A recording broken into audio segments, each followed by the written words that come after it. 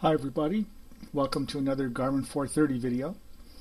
This time we're uh, parked at the Calgary International Airport and we're going to uh, set up a flight plan to fly IFR from Calgary, which is up here, down to Lethbridge.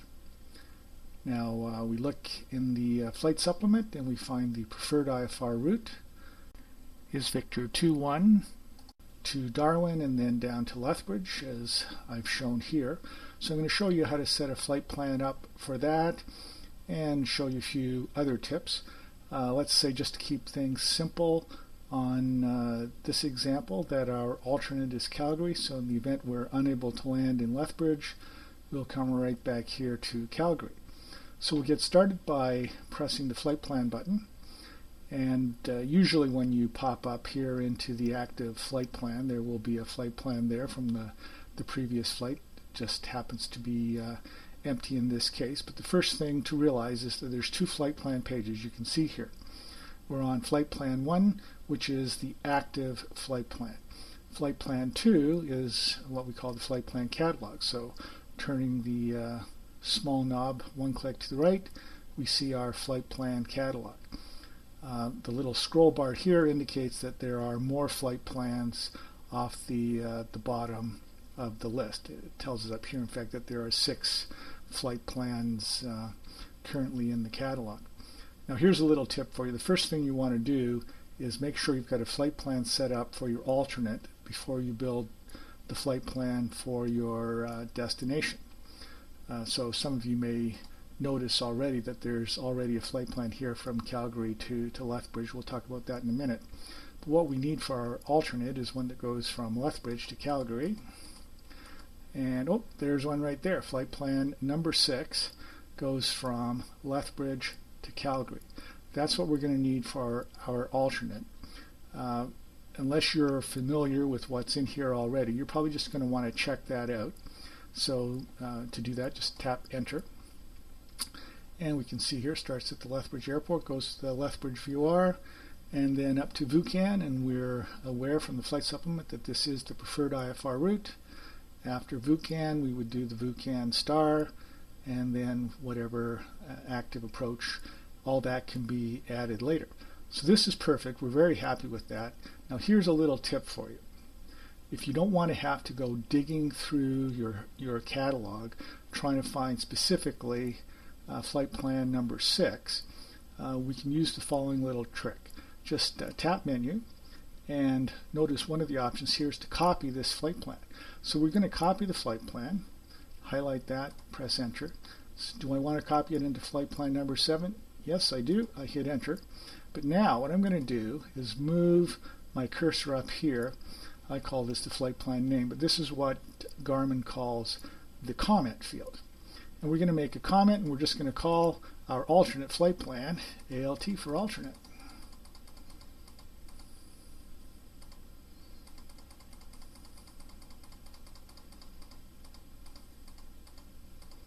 Okay, so once it says alternate, uh, we can hit enter and uh, now uh, what we can do here is as we go back and, and we could have done this while we were still looking at the flight plan. But if you hit the menu again you notice one of the options on the, the menu is to sort your list by the comment. So rather than being sorted numerically if I tap this you can see now alternate is the very top of your catalog. Uh, so generally speaking you should have one alternate airport at the top of your catalog if you come into the catalog and you see that there's already an alt in there, uh, delete it. Let me emphasize something that's very important here. Do not rename any of the flight plans in the in the catalog as uh, ALT. If you start doing that, pretty soon every flight plan in the catalog will be called ALT. Instead, do what you just saw here. Make a copy, name it ALT. At the end of the flight, try to remember to delete it. To delete it is very simple. Just turn the cursor on, select it, go menu, and uh, delete the flight plan. If I hit enter now, it will be gone. Uh, if you forget to do that, uh, then the, uh, the next person up is going to find an ALT there when they arrive. They should delete that and then create their own. Okay, so now we've got our uh, our flight plan all set up for our alternate. It's time to do the flight plan from Calgary to Lethbridge. So we locate the flight plan that goes, there we go, from uh, Calgary to Lethbridge.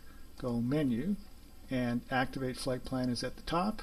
We go enter and uh, this kicks us back into the flight plan and at this point we're really basically good to go. Uh, however, since the purpose of this video is to show you how to build a flight plan, I'm going to delete this flight plan now and then rebuild it so that uh, you can see the process. So to delete a flight plan, uh, very simple. We're just going to hit menu and uh, select delete the flight plan, enter, enter again, it's gone. And now we're going to build a flight plan. I'm going to build the flight plan right here in flight plan 0. Uh, but you can also build flight plans in the, the flight plan number 2 page.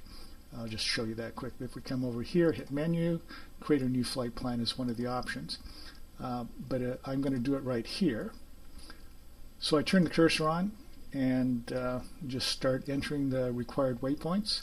You can see the, the list of waypoints here on the video. So put in CY, YC first.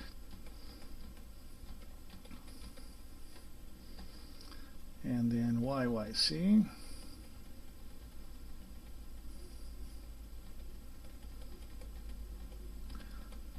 Now as we put the second waypoint in here, uh, notice by the way I, we should pause here, make sure we are getting what we're what we're going for here. We've got Calgary and we've got the latitude and longitude that we can check. But more importantly, as we enter it, check the bearing and distance here that they seem correct. The next one will be all the more uh, important. Okay, so we're going to put in Darwin.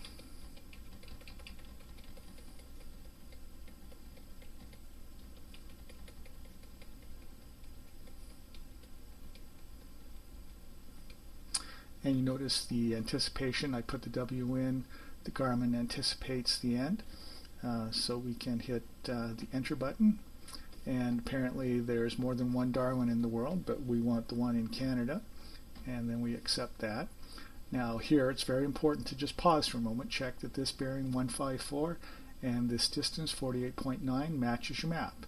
It's looking good and now we put in YQL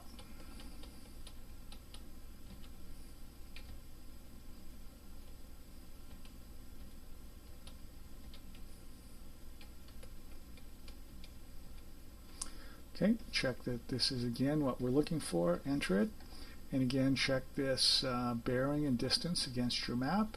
It's looking good, and then finally uh, the airport.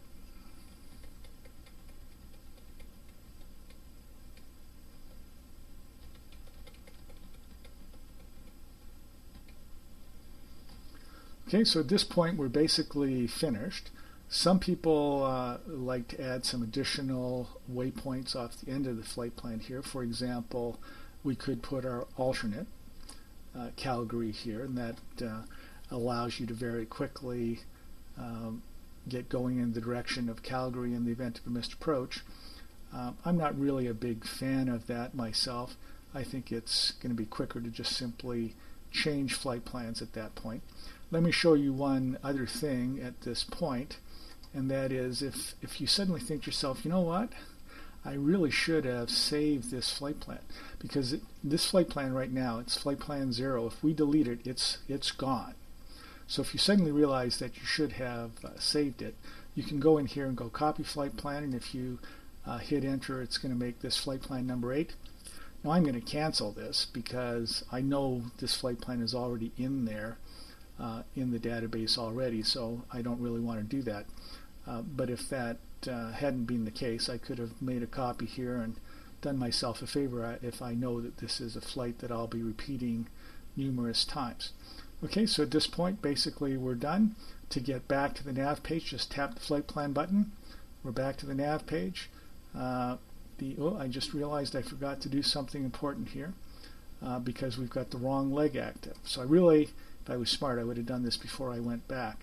Right now, you notice that the flight plan is flying the leg from the airport here to the Calgary VOR.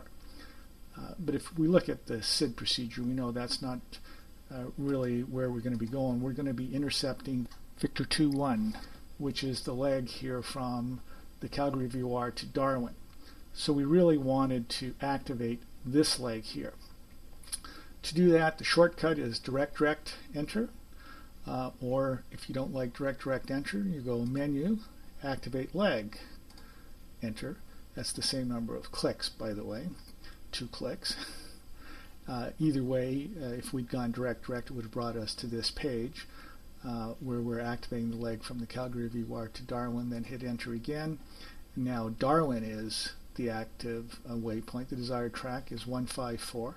So reset your HSI to 154. Put your heading bug on the runway heading. Maybe we're going to take off runway 34.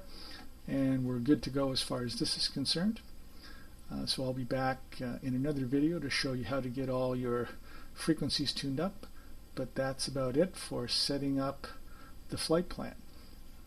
Okay, see you next time.